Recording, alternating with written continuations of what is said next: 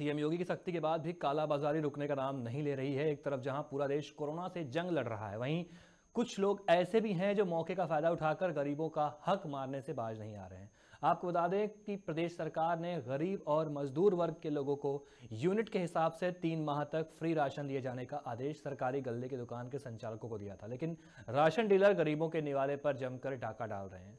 इसका जीता जागता सबूत तब देखने को मिला जब मैनपुरी में घटतौली कर कार्ड धारकों को राशन कम देने को लेकर एक शख्स ने विरोध किया।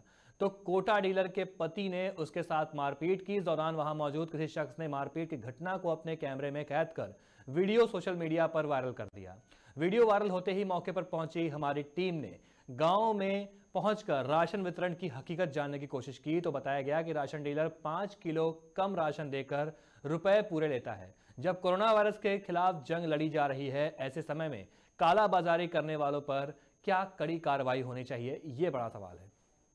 यहाँ साढ़े आठ बजे आ गए थे मैंने रिपोर्ट देखी फिर हम चले गए दवा लेना। है हम्म। क्या दवा में क्या दिक्कत थी आपको?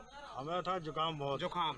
खांसी इतना जुकाम था कि जो ये राशन बट रहा है गरीबों के लिए आया है। इंस्ट्रक्शन दे गए हाँ। दे गए लेटर भी दे गए। राशन डीलर का वीडियो वायरल हो रहा है गाली गलौज का राशन कम दिया मारपीट का। क्या दायित्व है यहाँ? ये आ गए मेरे दवा ले आए हम फिर आएँगे अभी राशन डीलर का वीडियो वायरल हो रहा है जिसमें उसको गाली गलोज कर रहा है। आपका क्या दायित्व है? यहाँ राशन भी कम दिया जा रहा है लोगों का आरोप है।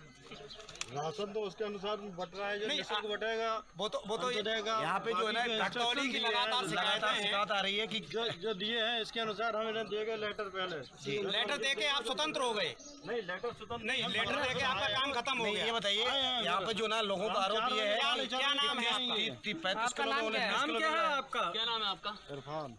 किस पोस्ट पे है आप? पे हैं आप? हम्म? वरिष्ठ सहायक किस विभाग में? उद्यान विभाग।